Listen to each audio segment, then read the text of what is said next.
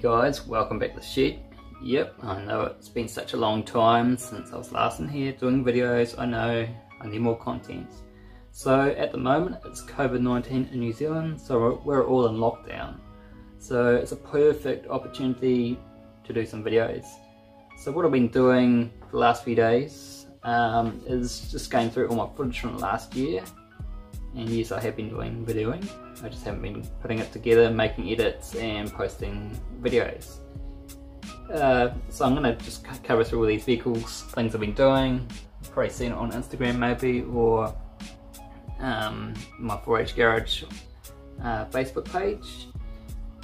And so I'm just going to make a two-piece little video catching my 2019 and you'll see this car at Auto Atsumaru in one of my videos and my car at the outside, which you haven't seen yet because I haven't posted a video, but I got about mid last year. So some of the videos are up and down with content, like when I took the videos, some things might not line up properly, but you'll get the gist of it by watching. So hopefully you guys enjoy it, crack a beer or whatever you're doing whenever you're watching this, and enjoy. So I'll start off with the GTI Corolla. As you can tell, there is no engine in it, and it's all stripped right apart. Um, went really well in the Auto at in 2018. Love the track, went so awesome.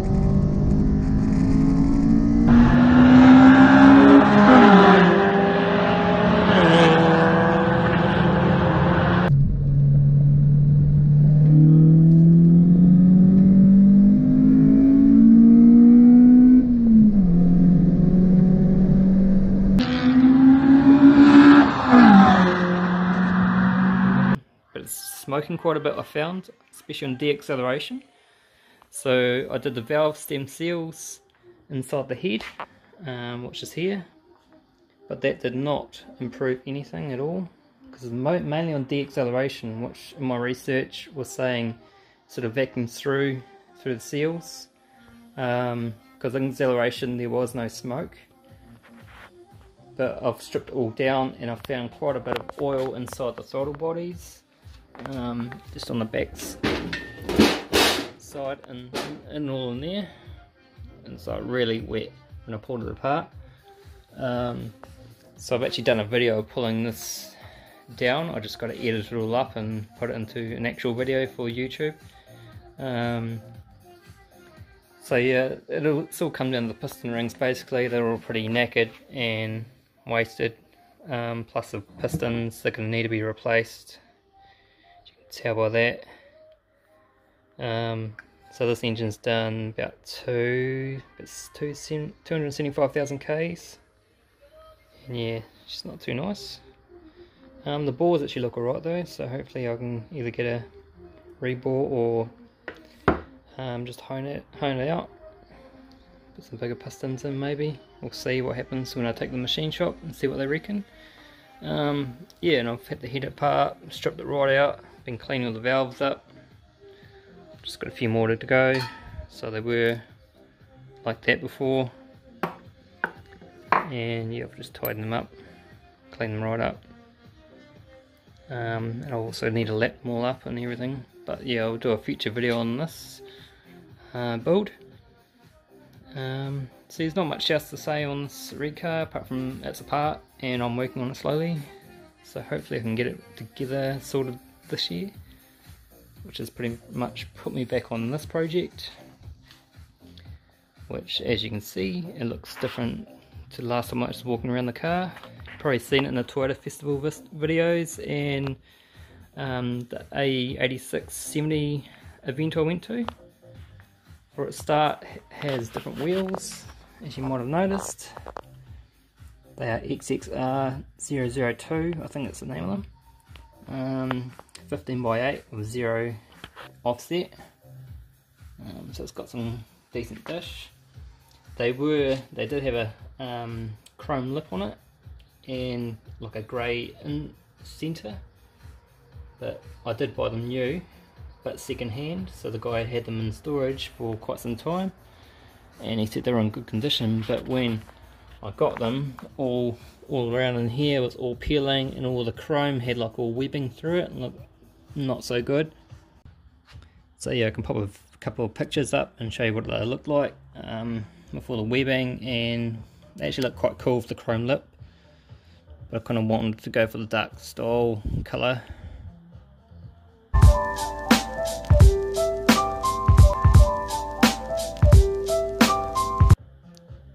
So this is powder coated, so it's a lot stronger than the paint. Um, it'll take a few more chips before it actually chip off like normal paint will.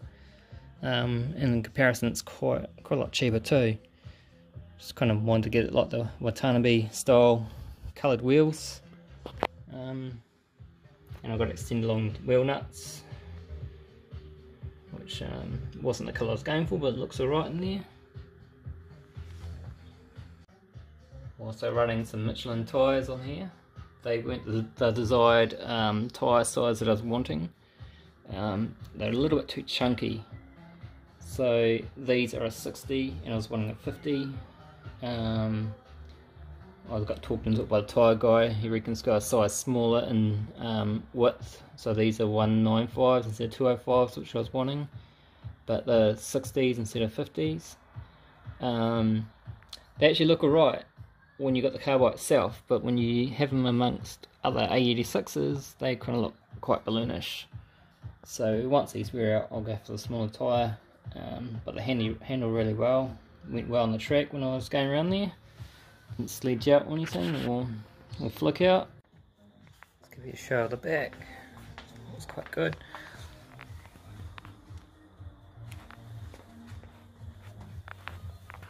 So I've got the extended wheel nuts because of these long studs on the back.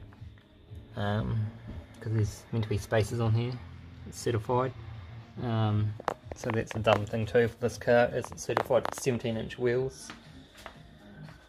Um, which is why some of the photos you see it's got a the white wheels which I have to put on for the of fitness so it passes. Um, then pull them back off and put them on here because on my cert plate has that all written on there, which is annoying.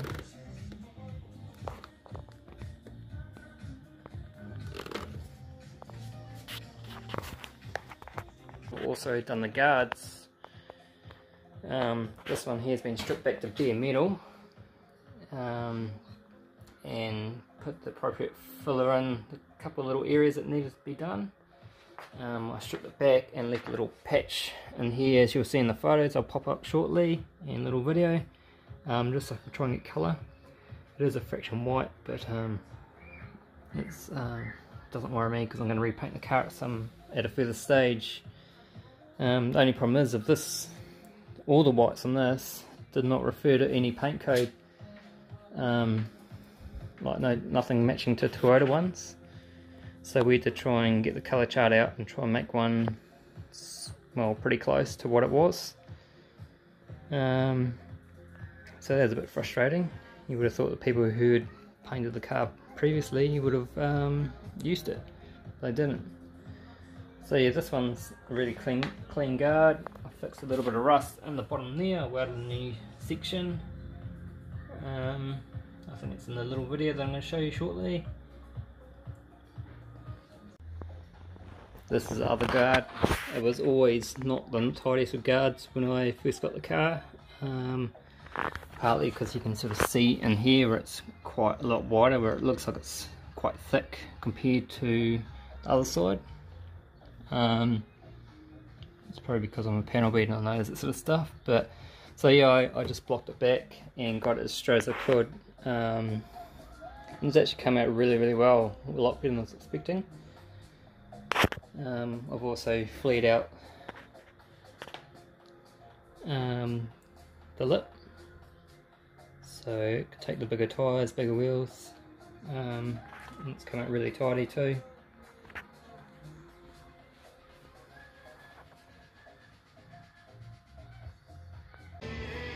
This is the guard of my car.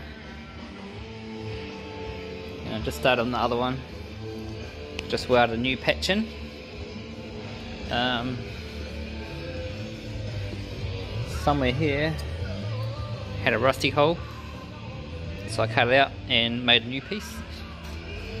So I'm going to take all this paint off because it's got this bog body filler in there and start again.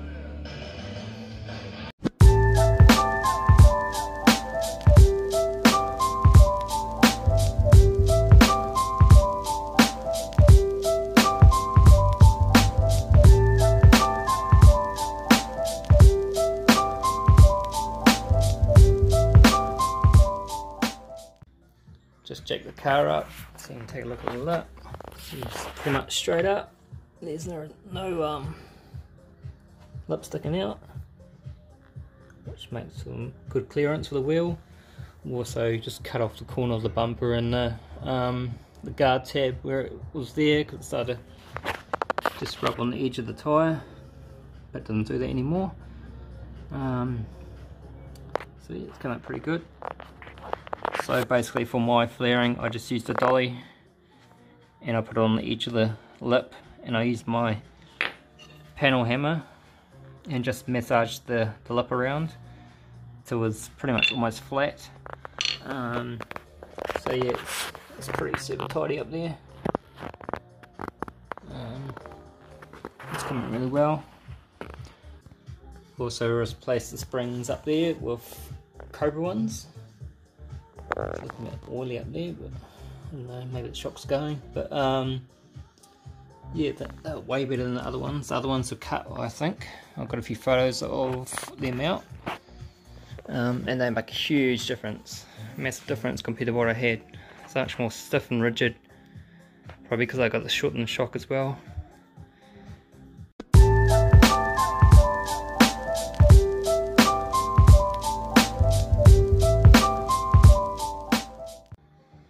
Thing I've done is for the headlights, um, I'll put the black on the top, so that's actually plastic it. It's been sprayed around the top and the bottom. Bit of bug splatter on there. Um, but that's it's holding it quite well. Gives that look of the later model headlight when it's not.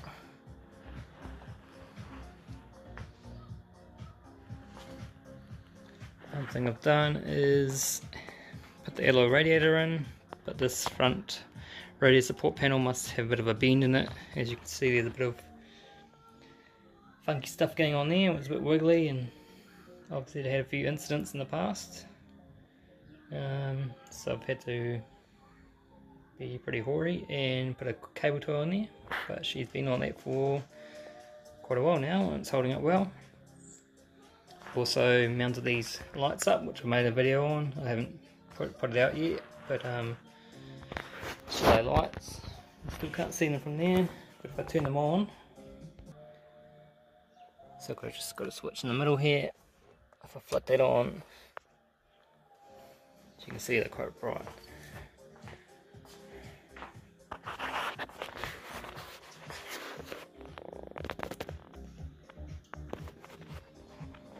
Um, yeah, so that's another thing I've been doing.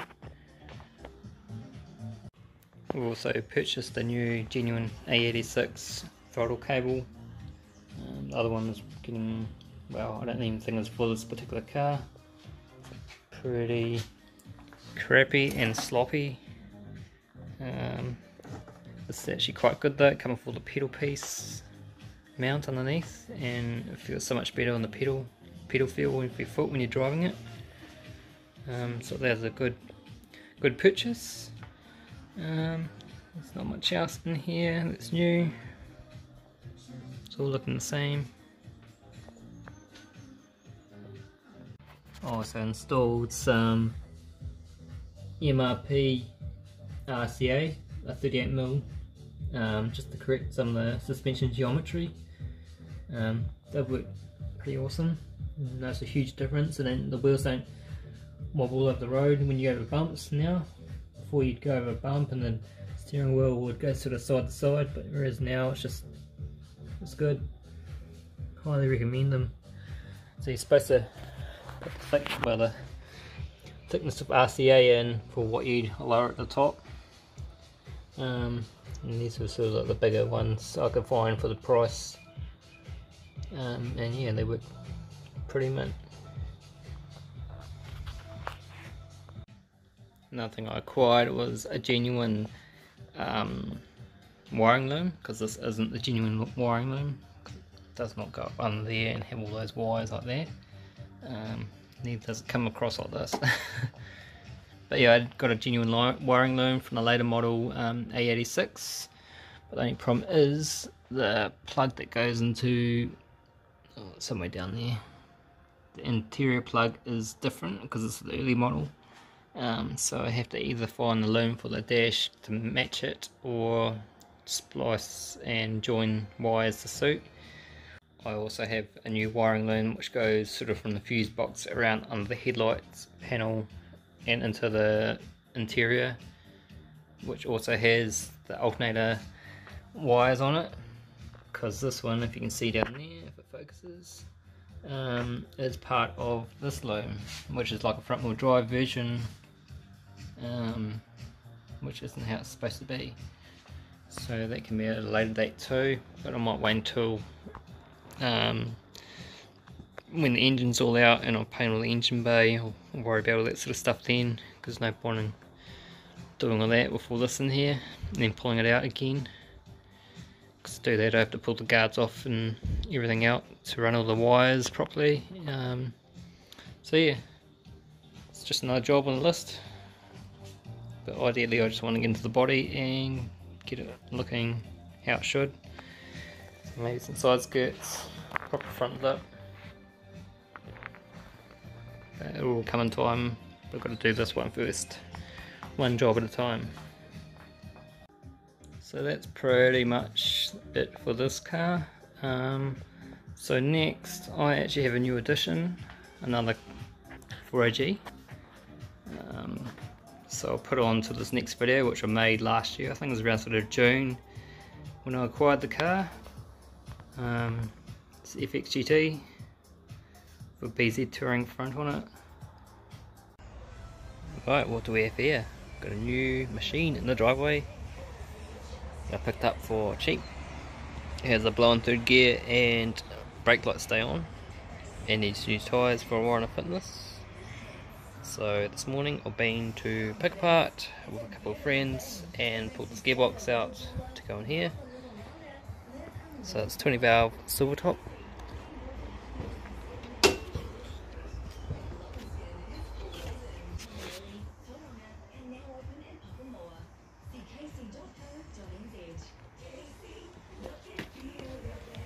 Bit rough on the bumper, but that's alright.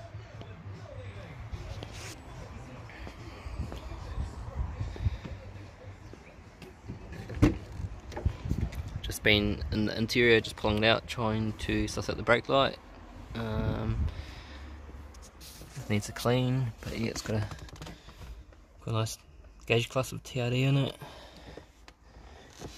And another sort of factory looking badge. I don't know if this is a TRD model, if someone's just tried to make it like that. Um, big funny armrest thing. Oh, pocket air purifier in the back, sunroof, Soundstream speakers front and back, 20 valve, twin cam TRD. So yeah, I don't know if someone's just made those up and got the stuck on or what, because I've never seen that sort of stuff before.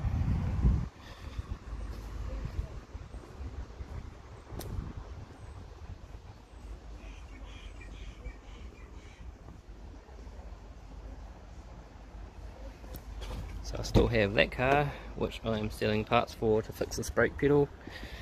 So I discovered what it was, the brakes are staying on, and up here, it's kind of hard to see, we'll move these wires. Um, up in this spot there should be like a rubber bung thing, but it's missing, it's obviously perished, which pushes that button in. Um, so the brake lights don't stay on. So I'm going to pull the one out of the other oven and put it in here and hopefully the brake light issue is solved. This car also has an ultra racing brace behind the seat.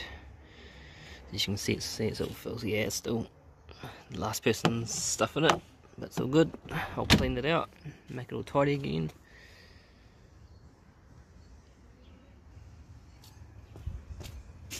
So just pulled this piece out of the Levin, the AE111, and so that was that's what it looks like this one's a little bit purish, got a crack in it, but I'm just going to glue it up and see how we get on. So that basically goes between the pedal and the little switch, and it the light off. Nice and easy.